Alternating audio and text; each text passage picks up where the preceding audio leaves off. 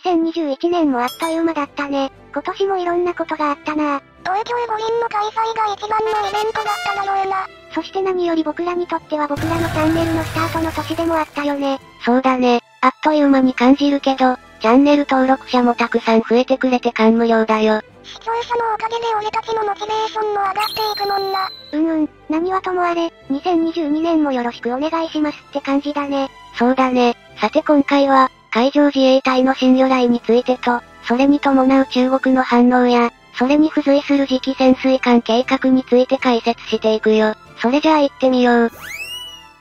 今から30年前に起きたイラクでの湾岸戦争は、旧ソ連のアフガニスタン侵攻の記憶も薄れていない時期であったため、世界中に衝撃を与えたよ。テレビ番組では、毎日のようにバグダッドやクウェイトへの爆撃が中継されたことも覚えている方も多いんじゃないかな？その時、有名な兵器としてスカットミサイル、パトリオットなどのミサイルの名前も連呼されていたよね。さらに、湾岸戦争において注目を集めたのが、敵に気づかれることなく領地内に潜入して爆撃などを仕掛けることができるというステルス戦闘機だぜ。今では、航空機にステルス性能がついているのは当然のことになったが、ステルス性能が必要なのは戦闘機だけじゃないんだよな。今の時代は、制海権を確保するためにステルス潜水艦の存在が重要になっているよね。日本においても、新型ステルス潜水艦の開発を目指して、様々な研究開発や作業が進行中なんだ。新素材や新兵器を導入するためには、多種多様な試験も必要だけど、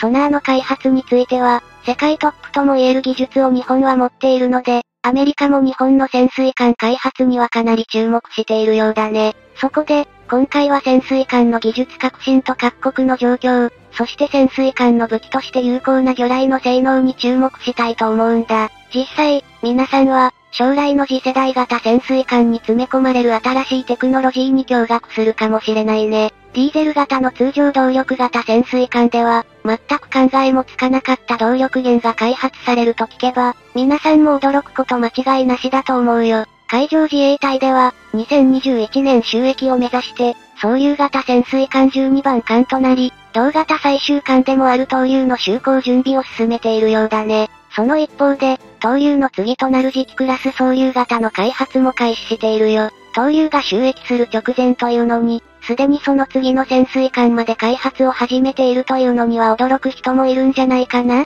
それほど軍事的テクノロジーの進化が早いということが言えるよね。現状では東流の後の潜水艦は、まだ名前が命名されておらず、便宜上は3000トン級潜水艦と呼ばれることが多いんだ。この新型潜水艦は、名前だけでなく多くの諸言や性能が不明となっているんだけど、数少ない情報によると、排水量は総流型より約100トン以上も多くなるのではという噂があるよ。この3000トン級潜水艦は、2020年6月現在3隻が建造中と言われているんだ。外観や各システムは、基本的には総流型11番艦応流艦以降の仕様と同様になるのではないかと言われているんだって。そうなれば、この艦のエンジンがディーゼル機関とリチウムイオン蓄電池を併用するハイブリッド型と考えていいだろうな。非待機依存推進機関を採用せずに、バッテリー性能をさらにアップして航続力と隠密性を確保しようとしているものと思われるぜ。開示の計画によると、すでに就航中の潜水艦を退役させた後、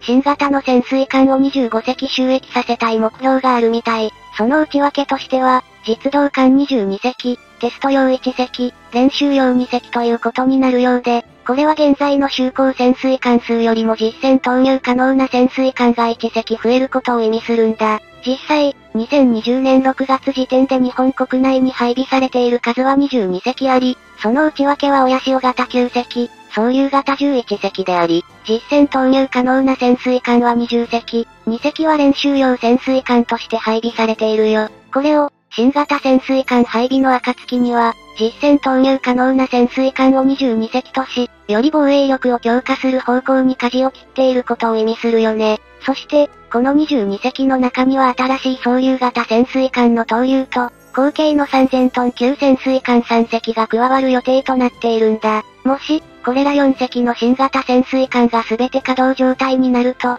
旧式である親潮型潜水艦は7隻だけ稼働できる状態になっておけば問題がないとされ、今後親潮級潜水艦の延命工事に着手する予定ともされているようだね。まとめてみると、予定されている25隻体制のうち、総流型12隻、親潮型7隻、3000トン級3隻の計22隻が実動艦となり、親潮型3隻がテスト用と練習用艦に分類されて配備されることになると思われるよ。さて、気になるのは今後正式採用される予定の3000トン級潜水艦だけど、今入っている情報や噂話によると、その基本スタイルは X 字完備舵や船体全部のセール部分など、先輩艦のスタイルを引き継いだものになっていると言われているんだって。ちなみに、3000トン級潜水艦の収益は、今から10年ぐらい後の2031年頃になると言われているが、その頃にはリチウムイオン電池の性能も向上しているだろうし、燃料電池の開発も進んで、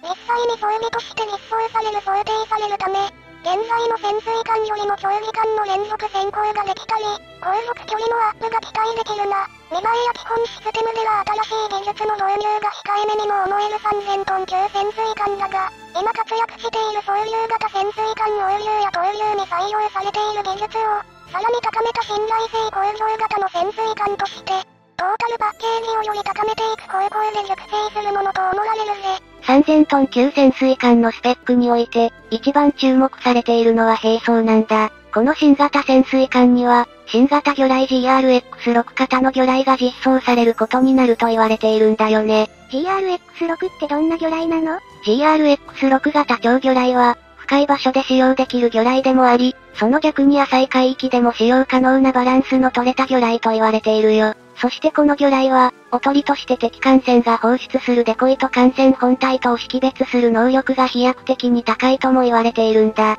デコイって？デコイとは、潜水艦から放出されて魚雷の狙いを潜水艦から避けるおとりのことなんだけど、敵を騙して本物のターゲットと誤認させるために使われる兵装のことを総称してデコイとも呼ぶんだ。偽のターゲットに攻撃させることで、魚雷の命中を避け、敵の魚雷を無駄打ちさせて攻撃力を縮減する戦術は、三国志における石壁の戦いでも有名だけど、現代においても同様の戦術が有効であることは言うまでもないよね。潜水艦運用にあたっては、その主たる想定海域を考慮することも欠かせないんだ。海上自衛隊が考える主戦場とされる想定海域は、現在よりも浅い海域に移っていくことが想定されており、そのためには戦術面でも方向性を改める必要があるということだろうね。深海でしか戦わない、という固定概念ではすでに現代の戦争で勝てなくなっている、と考えてもいいのかもね。ところで2019年6月、幕張メッセでの祭事であっと驚く展示がされたよ。なんと、3000トン級潜水艦のその次の潜水艦のコンセプトモデルが提示されたんだ。まだできていない3000トン級のその次の潜水艦だったんだけど、何がそこまで話題になったかといえば、その外観イメージが注目の的となったようだよ。というのも、コンセプトモデル潜水艦のスタイルが人々の想像を裏切り、全く考えもしないスタイルだったからみたいだな。一般的な予想では、これまでの総流型や後継艦である3000トン級艦に似たデザインだろう、と多くの人が予想していたんだが、実際にはそれとは全く異なるデザインが定義されたみたいだぜ。そのデザインでは、既存潜水艦よりもさらに小さくなったセールが船体の後方に移動し、船体の形が今までの日本潜水艦では見られなかった優先型デザインになっていたからなんだ。一見すると、ロシア潜水艦に近いと思われるスタイルだったってわけだね。そして、X 字火事が完備にあるのは従来通りであったものの、プロペラ型スクリューがなくなり、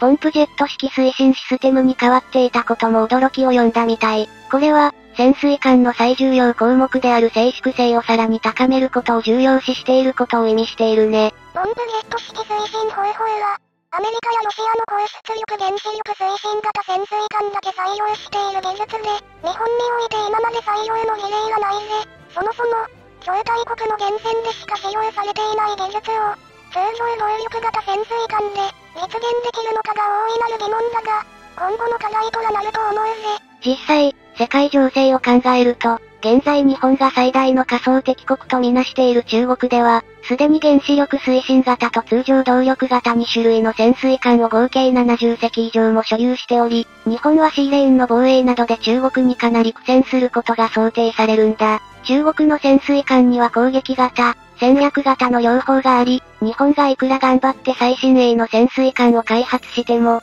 巨額の軍事費を惜しげもなく注ぎ込むことのできる中国と、防衛費に限りのある日本との数量差はますます拡大しているんだ。潜水艦だけでなく、水上戦闘艦についても数では中国海軍に大差をつけられている実情を考えると、数で対抗する方法は潔く諦めて、ステルス性や探知性能などを磨いて量より質の戦法で中国に対抗せざるを得ないのではないかな。実際、潜水艦だけが多くても、肝心の潜水艦の性能が全時代的なレベルだったら話にはならないだろうし、この量より質作戦を成功させるためには、最終的に人間に依存する潜水艦の運用方法を変えることも必要だね。例えば、外部からの遠隔操作でコントロールする無人潜水艦の開発に力を注いでいくなど、中国に対抗するためには人的資源を消費しない方法で新たな潜水艦を開発することも考えられるよ。それじゃあ今回はこの辺で、よかったら、チャンネル登録してね。